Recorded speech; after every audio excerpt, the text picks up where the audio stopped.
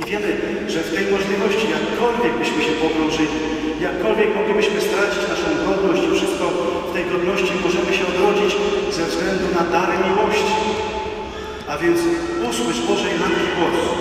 W tym miejscu, bracia i siostry, chciałbym powtórzyć wołanie, które rodzi się, które zrodziło się raczej w cywilizacji śmierci. Tam w Auschwitz, gdzie wśród milionów ludzi skazanych na śmierć, wśród tych milionów ludzi niewinnych skazanych na śmierć, bo człowiek człowiekowi zgotował ten los, było jedno życie, które przećmiło wielkość cywilizacji śmierci. Był to święty Maksymilian, który swoim gestem miłości, gestem oddania życia za od człowieka kieruje do nas zawołanie nie zapominajcie o miłości. Usłysz Twojej Matki głos. Ona sama woła do nas dzisiaj, tutaj zebrany w tej katedrze i na szlaku pielgrzymi. Nie zapominajcie o miłości. Woła o to Kościół, woła o to święty Maksymilian, wołają o to wszyscy święci. Nie zapominajmy o miłości, kiedy budujecie swoje życie. Nie zapominajcie o miłości, bo w ten sposób może być odtworzona, utrzymana cywilizacja życia i miłości. Kiedy budujecie swoje życie osobiste, rodzinne, nie zapominajcie o miłości. To jest krzyk, to jest wołanie tej, która została dana nam jako znak nadziei, jako znak miłości, jako ta cząstka, od której może odrodzić się wszystko. Kiedy organizujecie wasze życie społeczne, rodzinne, wtedy, gdy rządzicie miastem czy państwem, kiedy wykonujecie swoją pracę zawodową, nie zapominajcie o miłości. To jest apel. To jest słowo, które dzisiaj kieruje do nas, tak, które do nas przychodzi i prosi o zawierzenie jej słowu.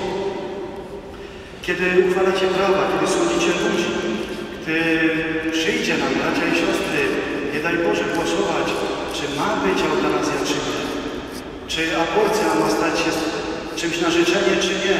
Nie zapominajmy o miłości. Twórzmy tę cywilizację miłości. Jeśli będziemy odpowiadali na jej głos, jeśli będziemy odpowiadali na jej apel, jak powiedzieliśmy dzisiaj, naszą obecnością tutaj, to to, co mówił nasz wieszcz narodowy, Henryk Sienkiewicz, będzie prawdą.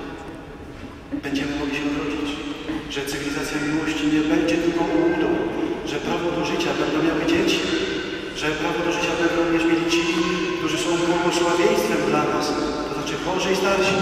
Święty Maksymilian mówił, że gdyby nie było chorych wśród nas, to trzeba prosić o nich, bo oni są największym błogosławieństwem dla człowieka. O to prosi w Niepokalanowie i myślę, że o to prosi, gdyż jest naszym wspólnym świętem. Bracia i siostry, Jan Paweł II, drugi wielki prorok naszych czasów, mówił, nie lękajcie się miłości, nie lękajcie się Jezusa Chrystusa, bo ten, kto daje, wzrasta. Kto bardziej miłuje, kto miłuje, staje się pełniejszym człowiekiem, a więc odpowiedzmy również na Jego wołanie. Nie lękajcie się miłości, ani nawet nie lękajmy się tego, że czasami nie umiemy na tę miłość odpowiedzieć, ale pragnijmy tej miłości. Jeśli będzie pragnienie wśród nas, będzie ten punkt wyjścia dla cywilizacji miłości i dopóki będzie żył ostatni człowiek z pragnieniem miłości, wszystko to będzie możliwe. Jezus pytał jednej ze sióstr, wierzysz w to? Dzisiaj kieruję te słowa do każdego z nas. Wierzysz w to, że miłość może zwyciężyć? Wierzę. Niech takie będzie nasze wyznanie wiary, niech takie będzie odpowiedź na jej obecność, niech taka będzie odpowiedź na Jego miłość, bo jeśli będziemy jej pragnąć, zawsze znajdziemy te drogi, które poprowadzą nas w kierunku życia i tutaj, i w przyszłości. Amen.